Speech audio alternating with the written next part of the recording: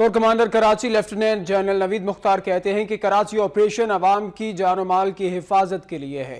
इसमें हासिल होने वाले अहदाफ को वापस नहीं होने दिया जाएगा। शहर के अवाम की हिम्मत और बहादुरी और इस्तेकामत का शुक्रिया अदा करता हूँ। कराची से अजहर जैदी की रिपोर्ट। किसी दम नहीं, हम किसी से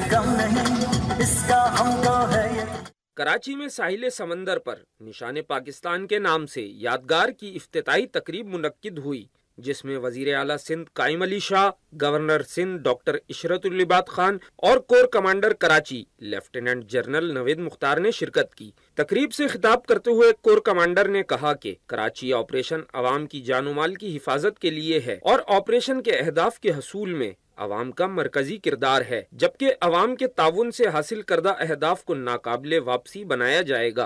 हमारे वसाइल हमारे लोगों की काबिलियत, नौजवानों का अज़म और पाकिस्तानी सिपाह की कुर्बानी का जज्बा हमारा सरमाया है।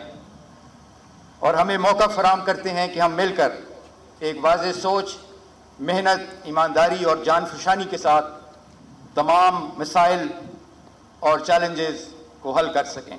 कोर कमांडर ने कहा कि कराची जबान सकाफत और मज़हब के एतबार से गुलदस्ते की मानंद है जबकि यहाँ आवाम की मोहब्बत और खिदमत मेरे लिए सबसे बड़ा एजाज है। उन्होंने कहा कि आवाम की ताकत और मदद से शहर के हालात बदल रहे हैं। शहरियों की हिम्मत बहादुरी और इस्तकामत का शुक्रिया अदा करता हूँ।